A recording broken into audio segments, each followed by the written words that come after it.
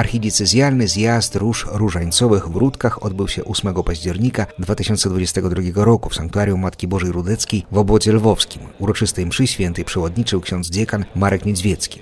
Spotkanie rozpoczęło się modlitwą różańcową z procesją do pięciu ołtarzy. Następnie odbyła się konferencja i śpiew godzinek ku czcini pokalonego poczęcia Najświętszej Maryi Panny. Wierni wspólnie błagali Boga za wstawiennictwem Matki Bożej o zwycięstwo Ukrainy w wojnie i pokój w Ukrainie. Na zakończenie mszy świętej ksiądz Jacek Waligura wręczył odznaczenia metropolity lwowskiego członkom Żywego Różańca, którzy wyróżnili się gorliwą modlitwą, a także posługą we wspólnotach parafialnych. W tym roku dziękczynienie arcybiskupa Mieczysława Mokrzyckiego za codzienną modlitwę i krzywienie Różańca Świętego otrzymali osiem osób z parafii Lwowa, Sambora i Żółkwi. Bądź pozdrowiona, pełna łaski, Pan z Tobą. Błogosławiona Ty jesteś między niewiastami. Moi drodzy, to pozdrowienie anielskie, które bardzo często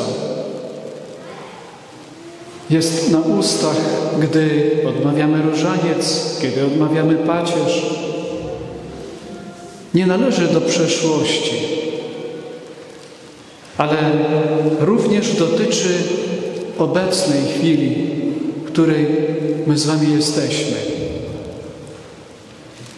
Bo w ten sposób również i dzisiaj pozdrawiamy Maryję, która jest obecna wśród nas w tym obrazie Matki Bożej Rudeckiej. O tym przecież przekonuje nas dzisiejsze czytanie z dziejów apostolskich. Bierzcie i jedzcie z tego wszyscy.